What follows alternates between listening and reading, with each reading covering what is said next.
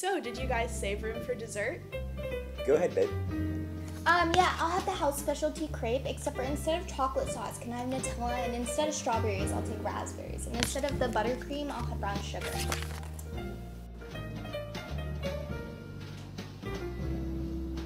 Um, sorry, no special orders. At Crepe, I can special order whatever I want.